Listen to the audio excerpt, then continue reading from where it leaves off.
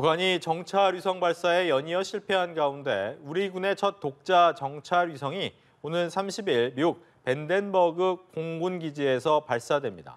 독자적인 우주 정찰 자산을 갖추는 첫걸음이 될 전망인데요. 이은정 기자입니다. 우리 군의 첫 번째 독자 정찰 위성이 오는 30일 우주로 쏘아 올려집니다. 발사 장소는 미국 캘리포니아주 밴덴버그 공군 기지입니다. 정찰 위성 1호기는 일론 머스크 테슬라 최고 경영자가 세운 스페이스X의 팰컨 9 로켓에 실려 하늘로 향할 예정입니다.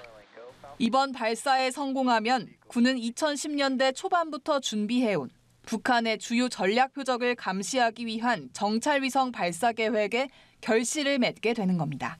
반면 북한은 이미 두 차례 정찰 위성 발사에 실패했고 10월 내로 3차 발사에 나서겠다고 공언했지만 결국 10월 발사도 무산됐습니다.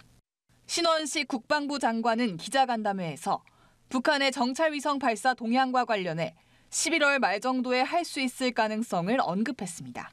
러시아의 기술 지원을 받아 지난 발사의 실패 원인이었던 3단 엔진의 작동 오류를 바로잡는데 시간이 더 필요한 것으로 보인다는 이유에서입니다.